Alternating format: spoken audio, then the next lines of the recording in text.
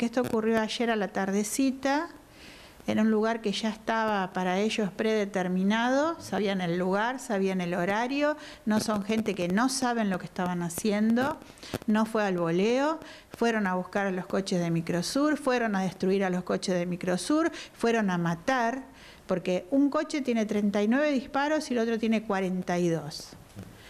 Fue una camioneta con ocupantes adentro que no sabemos cuántos son, le dispararon en la culata eh, del micro que iba segundo, Después lo adelantaron, siguieron disparando, le dispararon en los laterales, en los vidrios, en los parabrisas, donde están los choferes. Los choferes a los gritos pidieron que se tiren eh, al piso, los pasajeros. Eh, empezaron, el que manejaba, los dos choferes empezaron a hacer zigzag para tratar de salvaguardar la vida de ellos y de la gente. Una locura, es una locura. Por lo que nos está contando, en principio era en tránsito, iban en viaje. Dos colectivos que con qué cantidad de pasajeros estaban circulando. Uno con 27 y el otro con 25. Y bueno, los dos micros venían los lunes a la noche, nosotros le alquilamos, porque no es, o sea, lo que yo quiero dejar en claro, que esto no es un ataque a Microsur, esto es un ataque a la actividad que venían haciendo esos dos coches. ¿Por qué? Porque el tour de compras es mafioso. Entonces, nosotros le alquilamos los micros a Marianela, que es la señora que nos contrata, y también le, contratamos a otros clientes que van a turismo, van a países limítrofes, pero en este caso todos los lunes le alquilamos a Marianela los micros, ella lleva a la gente a Flores, compran y a la tarde pegan la vuelta para Mar del Plata. Esto ocurrió cuando volvían, o sea que Tema robo descartado, porque si no hubieran atacado los coches a la ida el lunes a la noche, que ahí llevan dinero. O sea, robo descartado. Alguien improvisado tampoco.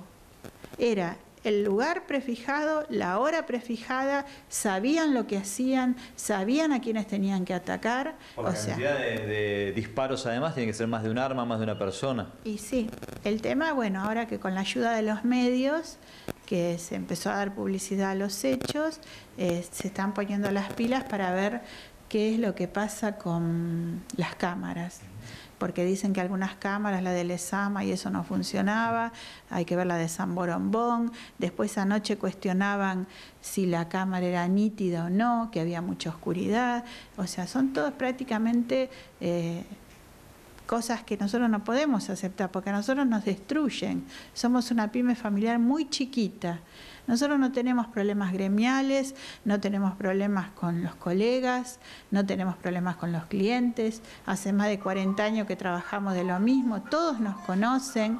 Yo desde anoche no para mi celular con los clientes preocupados. No se lo pueden atribuir a nada que tenga que ver con el transporte, sino con la actividad. No tuvimos, nosotros no tuvimos amenaza, la policía preguntaba, pero ustedes días previos, no, no podemos decir algo que no es. Sí sabemos que fue un acto vandálico, una masacre, porque esto, así como hablábamos de la AMIA o hablábamos de las Torres Gemelas, también tenemos que hablar de esto, porque podían haber los micros volcados y se podía haber muerto casi 80 personas. Entonces, no es un chiste, ni es para dejarlo pasar. Esto no lo tenemos que dejar pasar. Nosotros le pedimos a los medios que investiguen y que los que fueron, porque seguramente ha sido más de uno, mire si tiene impunidad que los adelantó con la camioneta y después de haberle disparado un montón de tiros, llegó al primer retome, volvió y los volvió a atacar. Era una pesadilla. Cuando lograron parar los coches, porque ellos no sabían si frenar, si acelerar, o sea, los choferes no sabían qué hacer. Y cuando tomaron la decisión que los vieron que se fueron, ahí frenaron y no se animaban a bajar de los micros. La gente permaneció arriba de los micros hasta que llegó la policía.